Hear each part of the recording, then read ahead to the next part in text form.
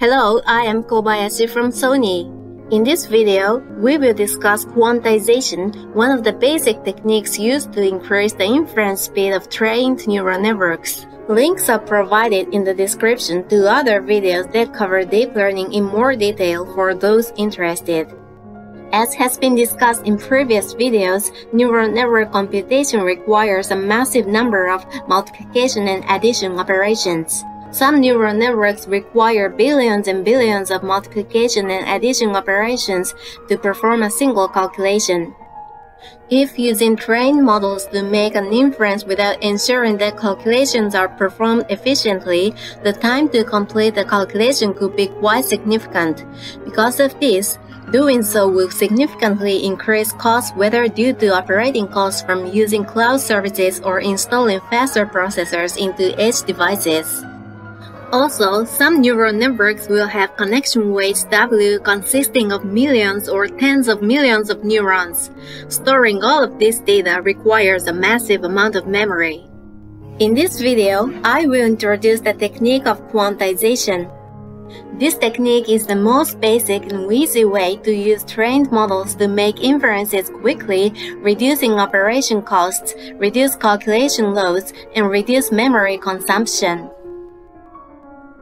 Quantization is a process to represent a continuous value expressed as a real number as an integer multiple, which is a quantum of the smallest unit.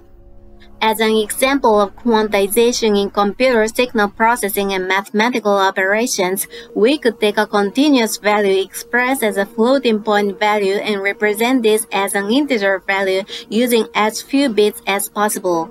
This means that calculations are performed using integer calculations instead of floating point calculations.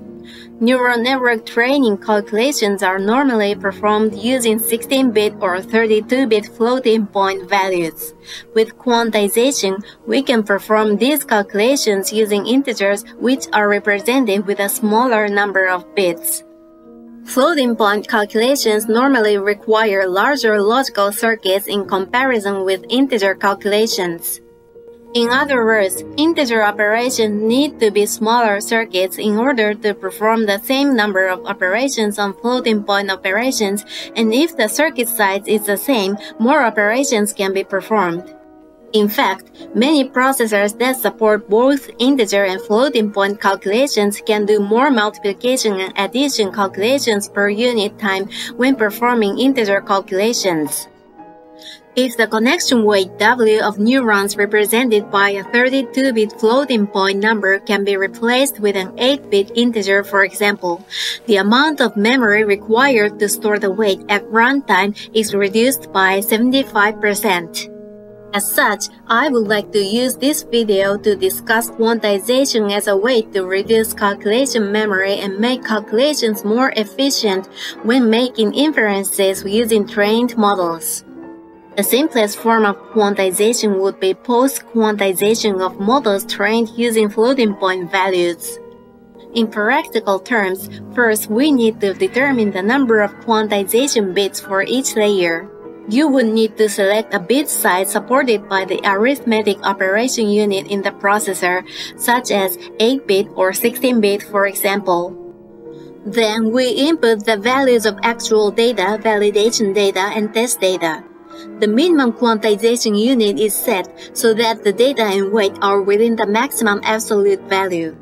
The value is expressed as an integer multiple of the minimum quantization unit. If you want to quantize a plus or minus 1.0 floating point value into 8-bit integer for example, you would choose a value of 1 128th of the maximum value as the unit of quantization resulting in the floating point value being represented by an 8-bit signed integer. In doing this, actual calculations will be performed using the quantized values. As mentioned at the beginning, this enables all calculations to be performed by the arithmetic logic unit. This also results in needing less memory to store weights. Performing calculations via FPGAs or ASICs, for example, enables the reduction of logic circuit scale. Approximating values with integers like this can affect actual computation results and result in a degradation in performance. However, we have observed experimentally that using 16-bit quantization for most models does not result in any noticeable degradation in performance.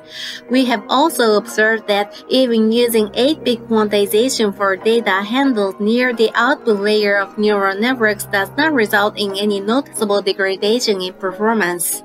As of 2019, many production environments support this kind of post-quantization.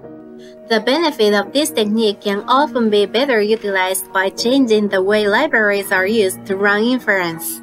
Using simple post-quantization has definite limits on the quantization range. More reductions in bit counts result in more quantization errors or significant differences between the quantized value and the original floating point value. This can result in significant error in computation results. As such, you should probably come up with another approach instead of trying to use bit counts lower than 8.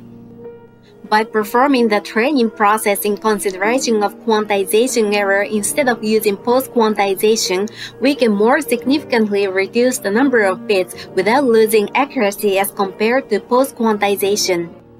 Specifically, we would perform the training process that quantizes convolution and affine weights and data for each iteration of forward calculations.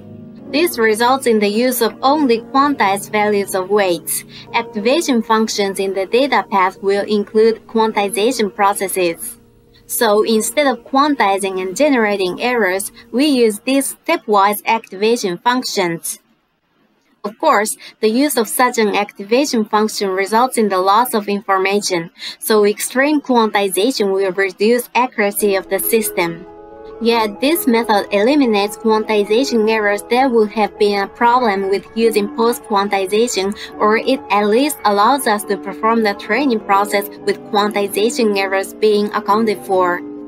One issue to be aware of when using quantization is that backpropagation as discussed in the mechanism of neural network training video cannot be used as is. Stepwise functions like this cannot be differentiated. The gradient for functions performing quantization like this will practically always be zero. This means that it will no longer be possible to update parameters using the backpropagation method discussed previously in the mechanism of neural network training video. The solution to this issue is the technique of using a straight-through estimator to replace differentiation of the quantization function with differentiation of approximate function.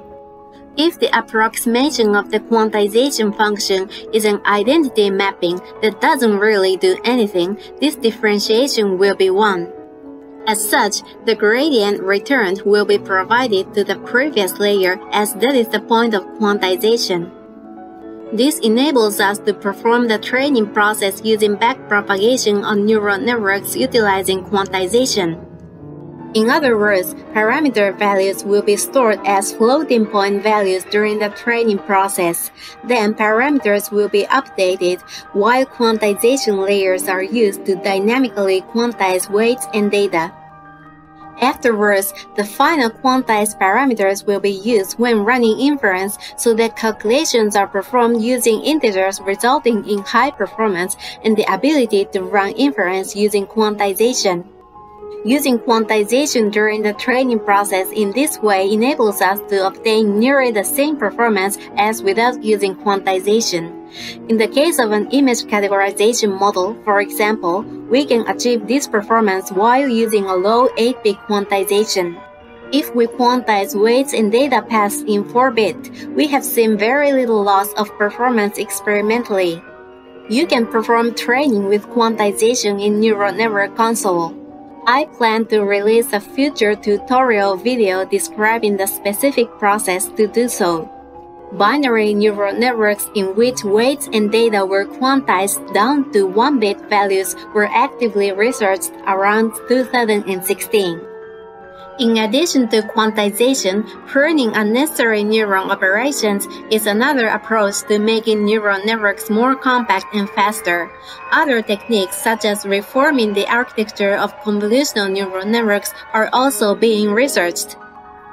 I would also like to release future videos on other techniques to make neural networks more compact.